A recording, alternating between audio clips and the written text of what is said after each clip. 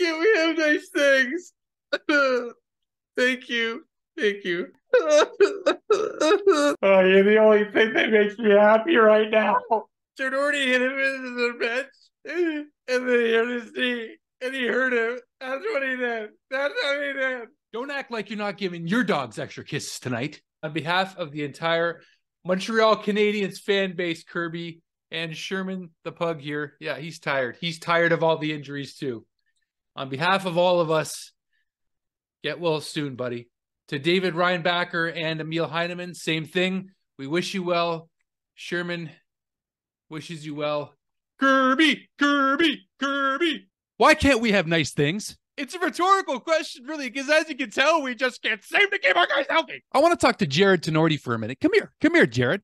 What, what did what did Kirby do to you? Can I point out the most obvious thing here is that look how happy, look how happy Kirby Dach looks in the new photos at training camp here, and then take a look at what how Jarred Tinordi looks in his team photo. Clearly, someone's the angry, unhappy one here, and I can tell you right now, it's not Kirby Dach. Oh, look at the yellow screamy has fit. He's trying to be Steve Dangle. Stop trying to be Steve Dangle. Stop trying to be Steve Dangle. Stop trying to be Steve Dangle. I'm better than Steve Dangle. Please don't clip this and send it to Steve. I'm kidding. Steve, Steve, Steve, I'm, I'm kidding. Steve. Well, that was a fun season, wasn't it? Two games into the 2023 24 season, Kirby Dach is injured long term. We don't even know how long yet still. Ah. On top of that, David Reinbacher experienced a lower body injury, also in reference to his knee, because apparently his knee is injured as well. Emil Heineman on the Laval Rocket, who had a decent training camp. Some thought should have made the Habs. I didn't think he should have. But nonetheless, he's injured too. So you know they're not calling him up. A little extra hyper tell you because yes, We've all been looking forward to seeing Kirby Kirby Dach have yet another breakout season. As we know, last season he came into the Montreal Canadiens with a brand new clean slate. He had a pretty decent season with the Montreal Canadiens in his first one, might I add. 38 points in 58 games last year. Kirby had 14 goals, 24 assists. You get to the season opener against the Toronto Maple Leafs, where they debut the Kirby Dach, Alex Newhook, and Uri Slafkovsky line and things are looking good. Two games later, they're looking really bad. The point being, though, the nice thing, at least right now, is that we know Alex Newhook is a center and he's going to slide into the center position, likely going to still be playing with Uri Slafkovsky and now Josh Anderson on the right side of that line, or maybe the I think he's going to be on the right side, but it sounds like what's going to happen is Alex Newhook's going to slide into the second line center role upping his responsibilities, if you ask me. But I think he's cut out for it. I think that this this could be, if I don't even want to call it a blessing in disguise, because nothing's a blessing about a player going down with injury. That's just not a thing. That's not a thing.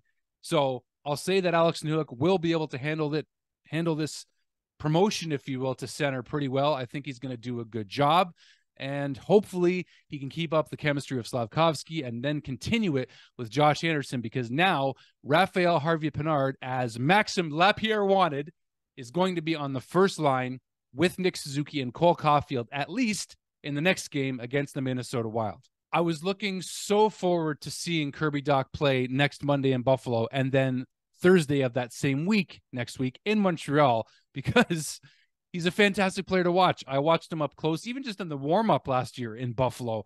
And the guy was a treat to watch, just watching him wheel around. And he's got that big frame. He's got so much skill. He's only building his potential. And they, some fans, some media still feel like Kirby Dach's ceiling is the highest of all the Habs forwards they have right now, all of them.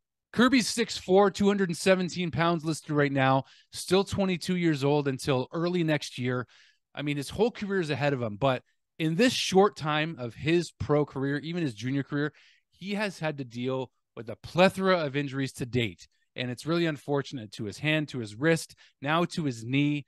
From the time he was with the World Juniors on Team Canada, he dealt with a huge injury at the beginning of the tournament a few years ago and wasn't even able to continue.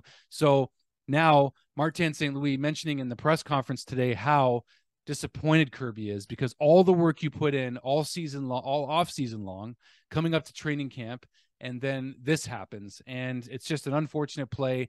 And you know what? One of my viewers, you were right. Credit to Adam, one of my longer term viewers on this channel. Adam, you were right. from the time Kirby got this injury the other night after my video, Adam said that Kirby's going to be done for a few months, and all of us are kind of like, I mean, okay, me, I was saying, huh? Like we don't even have a diagnosis yet. Nobody's even been recalled from Laval yet, but it turns out Adam was right. Kirby Dach has a severe injury. He's out long term. We don't know the exact length yet, as I mentioned, but it's just it just sucks for Kirby at this point, man. Not just Kirby. I mean, for the rebuilding Habs here, it's just a guy that is going to be potentially potentially your first line center someday if he somehow knocks Nick Suzuki out of that spot. But Kirby's been in beast mode. So, I mean, the ceiling is the limit for this guy. And to see it have it swept out underneath him like this, just again, is no fun. It's not fun to talk about this, but we got to talk about it.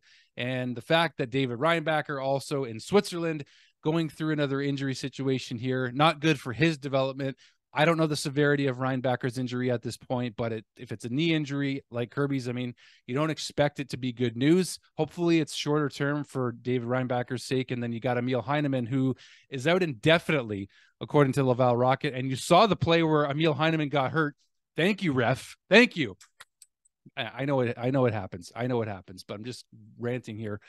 But it's not fun to see. And I really hope that these guys get better much sooner then later, let's see how Alex Newhook handles his new responsibilities at center.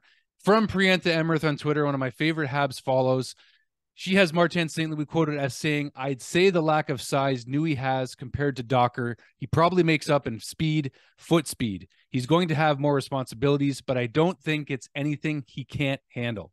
He is a center after all, and now he's going to get that opportunity to use that speed to play in all three zones and hopefully play effectively in all three zones. He's been really effective in the first two games, scoring two goals in his debut with the Montreal Canadiens. What better way to kick things off? And then to have your centerman go down. Now, Alex Newhook, I know, is going to have a lot of pride coming into this position with this opportunity in front of him to not replace Kirby Dach. You can't do that, but he's going to do his best to contribute as much as possible with your Slafkovsky and it looks like Josh Anderson. We'll see if those three stay together or if that line remains interchangeable. Maybe they insert Sean Monahan at some point, but he's going to stick with Gallagher and Pearson on the third line for now. We'll see where this all goes. So I will say this again get well, Kirby, get well, David, get well, Emil. And we need you guys to get up to speed and healthy as soon as possible because we're going to miss you. We're going to miss you. And, uh, not fun to talk about, like I said, but we got to talk about it. And I just hope that the Habs can still keep that positive momentum and not let this jolt them too much, although it is a big one. Let's see what these guys are made of now with yet another major piece of adversity hitting the injury bug again. Lord protect them the rest of the way. That's all I can say. Thank you guys for watching. If you want to support, you know what buttons to push.